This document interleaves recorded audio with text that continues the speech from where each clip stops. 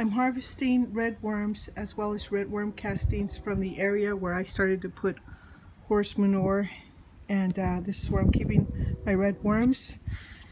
So I harvested them from along the wall. And there's a bunch of them that I'm going to put again in my uh, planter beds and my areas where I put horse manure for compost, not horse manure, um, my dog poop.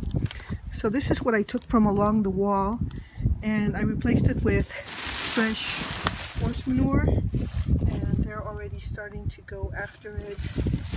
So my strategy is to um, put the fresh horse manure along the wall and here I've uncovered it where I had the new light put in.